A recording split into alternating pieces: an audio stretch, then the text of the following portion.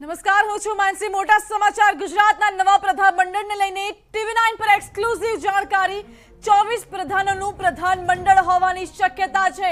અગિયાર ધારાસભ્યોને કેબિનેટ કક્ષાના પ્રધાન બનાવાય તેવી શક્યતા. જ્યારે તેર ધારાસભ્યોને રાજ્ય કક્ષાનો હવાલો સોંપાય તેવી શક્યતા છે. આવતીકાલે ગાંધીનગરમાં ભૂપેન્દ્ર પટેલ અને નવા પ્રધાનો શપથ ગ્રહણ કરવાના છે.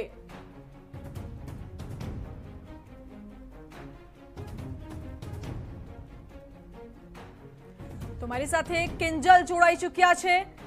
કિંજલ, ટીવી નાઇન પાસે એક્સક્લુઝિવ માહિતી છે. કેબિનેટમાં કોને કોને સ્થાન મળવાની શક્યતા?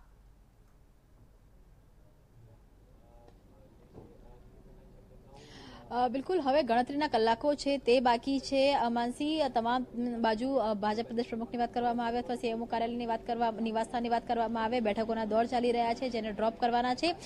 તે લોકો પણ, તેમને પણ બોલાવવામાં આવી રહ્યા છે, વાતચીત કરવામાં આવી રહી છે. પરંતુ જે સવાલ પૂછ્યો કે કેબિનેટમાં કોનો, કોને સ્થાન આ વખતે મળી શકે છે, તો કેબિનેટની વાત કરવામાં આવે તો કિરીટસિંહ રાણા, કનુ દેસાઈ, ઋષિકેશ પટેલ, કુંવરજીભાઈ બાવળિયા, જયેશ રાદડિયા, શંભુપ્રસાદ ટુંડિયા, અથવા રમણ વોરા મોડુભાઈ અ, બેરા અલ્પેશ ઠાકોર જીતુ વાઘાણી શંકર ચૌધરી ગણપત વસાવા અથવા નરેશ પટેલ. તો આ રીતે જે સ્થાન છે કેબિનેટની અંદર મળી શકે છે. દસથી વધુ નેતાઓને કેબિનેટની અંદર સમાવાઈ શકે છે. એકસો માંથી દસ આ એવા ચહેરાઓ છે કે જે ભાજપના સિનિયર મોસ્ટ ચહેરાઓ છે અને કેબિનેટમાં સમાવવા પડે જાતિગત સમીકરણને લઈ અને જે ઝોન વાઇઝ કે ક્ષેત્ર વાઇઝ પર સમાવવા પડે તે પ્રકારની શક્યતાઓ છે.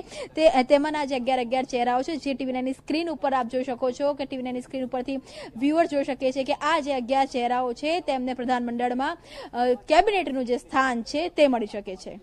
જી અને બીજી બાજુ તેર ધારાસભ્યોને રાજ્ય કક્ષાનો હવાલો સોંપાય તેવી શક્યતા છે. આ તેર ચહેરા કયા હોઈ શકે છે?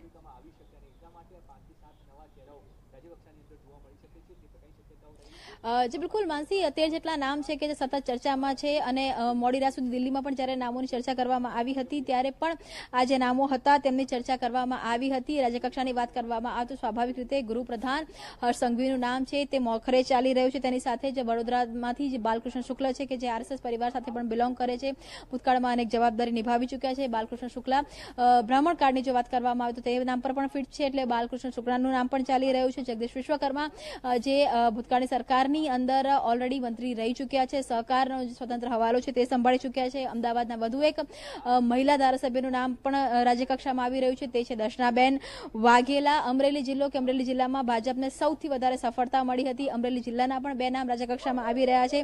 જો યુવા ચહેરાની વાત કરવામાં આવે તો કૌશિક વેકરિયા અને તે સિવાય સરકાર અને સં- અ, જેને બહોળો અનુભવ હોય તે જો ચહેરાની વાત કરવામાં આવે તો મહેશ કસવાલા એટલે અમરેલી જિલ્લામાંથી પણ આજે બે પાટીદાર ચહેરાઓ છે.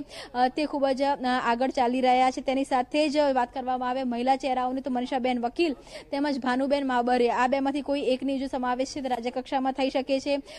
જો ટ્રાઇબની વાત કરવામાં આવે, આ વખતે ટ્રાઇબ વિસ્તારમાંથી સૌથી વધારે બેઠકો છે તે ભાજપને મળી હતી. માત્ર ત્રણ બેઠકો ભાજપે ગુમાવી છે. જ્યારે ત્રેવીસ જેટલી બેઠકો ભાજપને મળી છે, ત્યારે ટ્રાઇબ જે નેતાઓ છે તેમને જો પ્રતિનિધિત્વ આપવાની વાત કરવામાં આવે, તો તેની અંદર ડોક્ટર દર્શનાબેન દેશમુખ જે નાંદોદથી લડ્યા હતા કે જ્યાં અમિત શાહે પોતે પણ એક જે રોડ શો હતો, રોડ શોનું આયોજન કર્યું હતું. તેની સાથે જ પીસી બરંડા કે જે ઉત્તર ગુજરાતમાંથી આદિવાસી બેલ્ટમાંથી લડ્યા હતા અને જીત્યા હતા.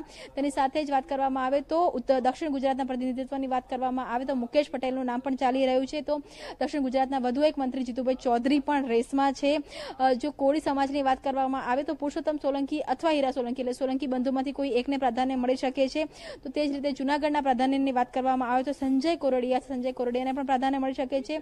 તે જ રીતે મધ્ય ગુજરાતની વાત કરવામાં આવે તો મધ્ય ગુજરાતની અંદર પટેલને પ્રાધાન્ય મળી શકે છે પંકજ દેસાઈ. અને જો દંડકમાંથી ડ્રોપ કરવામાં આવશે તો પંકજ દેસાઈને પણ રાજ્ય કક્ષામાં પ્રાધાન્ય મળી શકે છે નહીં તો મહદઅંશે તેમને દંડક તરીકે તેમને કાર્યરત ફરીથી રાખવામાં આવશે.